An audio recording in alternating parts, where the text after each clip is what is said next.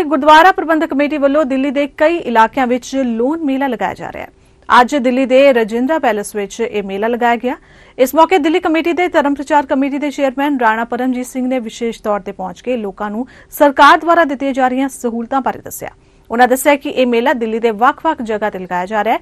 ਤਾਂ ਜੋ ਦਿੱਲੀ ਵਿੱਚ ਜਿਨ੍ਹਾਂ ਲੋਕਾਂ ਨੂੰ ਅਤੇ ਵਿਦਿਆਰਥੀਆਂ ਨੂੰ ਪੈਸੇ ਦੀ ਲੋੜ ਹੈ, ਉਹਨਾਂ ਦੀ ਮਦਦ ਕੀਤੀ ਜਾ ਸਕੇ।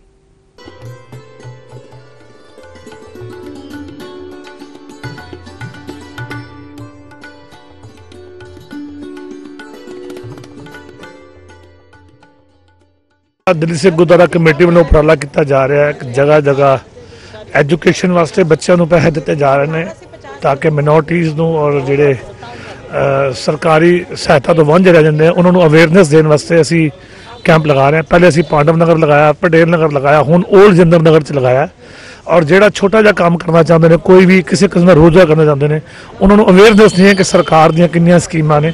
ਸੋ ਦਿੱਲੀ ਸਿੱਖ ਗੁਰਦੁਆਰਾ ਕਮੇਟੀ ਵੱਲੋਂ ਇਹ ਅਸੀਂ ਕੈਂਪ ਲਗਾਇਆ ਔਰ ਲਗਾਤਾਰ ਇਹ ਕੈਂਪ ਅੱਗੇ ਵੀ ਚੱਲਦੇ ਰਹਿਣਗੇ।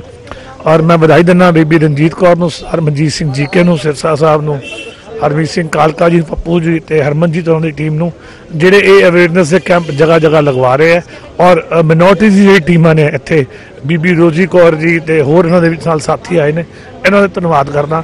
ਔਰ ਚਾਹੁੰਦੇ ਹਾਂ ਕਿ ਜਿਹੜੀਆਂ ਸਹੂਲਤਾਂ ਨੇ ਸਰਕਾਰ ਵੱਲੋਂ, ਇਹ ਉਹਨਾਂ ਤੱਕ ਪਹੁੰਚਣ, ਜਿਨ੍ਹਾਂ ਨੂੰ ਅਸਲ 'ਚ ਇਹਦੀ ਜ਼ਰੂਰਤ ਹੈਗੀ ਹੈ।